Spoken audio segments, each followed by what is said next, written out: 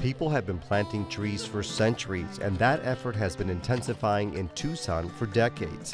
Tens of thousands of new specimens are growing in the city thanks to a cooperative effort that helps Mother Nature and human beings. I think it's so important, and it's so important, especially in Tucson where there's not a lot of green, for kids to have a chance to go and be in nature and just for the community to see it and appreciate it and value the environment as well. Anything that's in the path that's going to get big, we're just going to take it out. Okay. At Changemaker High School in Tucson, students are improving the surrounding area by getting out of the classroom and into the community. There is in depth discussion, interactive engagement, and a commitment to action. When Adilena Rivera started talking to nearby residents, some expressed a desire for more greenery in the neighborhood. The school searched for resources and made contacts. Now, a wish is turning into reality, one little tree and one committed volunteer at a time.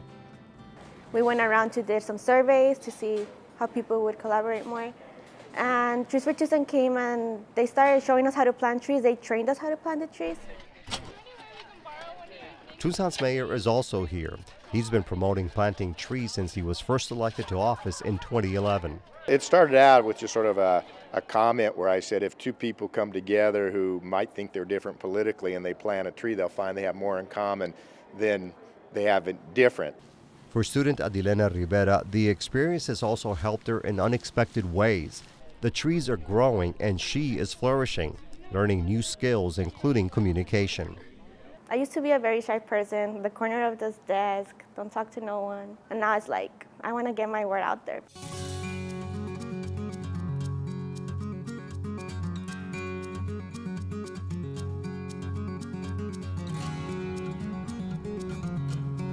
A few miles east of Changemaker High School, residents from the Rincon Heights Neighborhood Association near the University of Arizona began their own community beautification program in the late 1980s.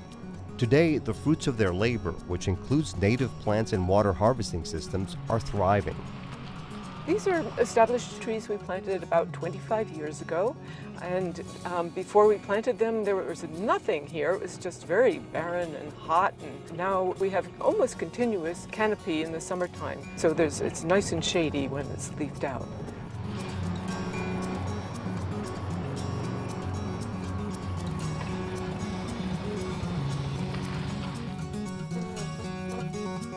Transformation has taken years of work and cooperation, and it's still a work in progress. Melody Peters has been there all the way, digging, weeding, planting, prodding, and encouraging.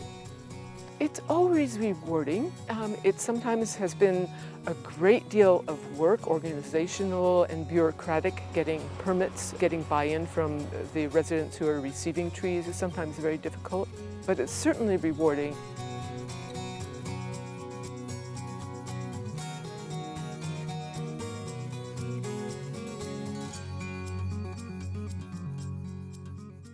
When I first brought them here, they were this big.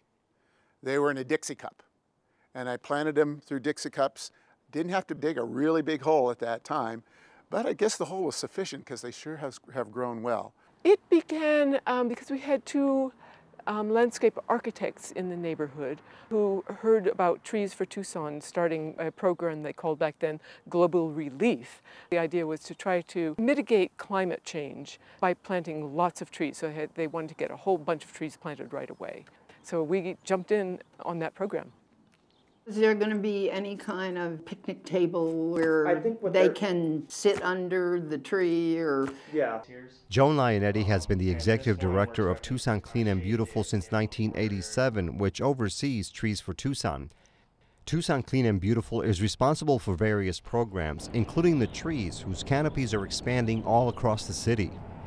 We've planted since 1989, approximately 165,000 trees throughout the community. With people, we haven't. The community has planted it. And so it tells you when you have an idea or a, a, challenge and you move forward on it and it's coming from the ground up, it's going to work. I get to drive all over town, get to see people's yards, see how their trees are doing over the years, um, give them recommendations as far as uh, maintenance and care of their new trees. It's a great experience. Um, I tell a lot of people it's probably the best job I've ever had. Um, I even get that from a lot of people that even ask me, is this the best job you've ever had or what?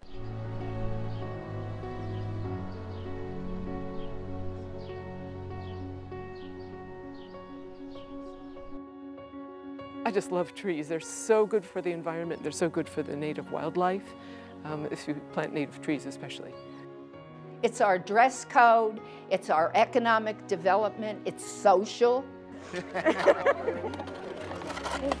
it's just really caught a lot of energy and today we had probably 70 volunteers out here. People love planting trees. I just am so grateful for the attention to the importance of uh, more trees. They plant trees, they prune trees, they learn about why trees are important, and they do, it's, it's really community development. I think it's awesome. I completely enjoy stuff like this, just getting out and doing stuff instead of being stuck in the house. And uh, it's just nice to be able to see people smile for just a tree being planted. And the future looks bright for urban forestry in Tucson. Several thousand more saplings will be going into the ground this year.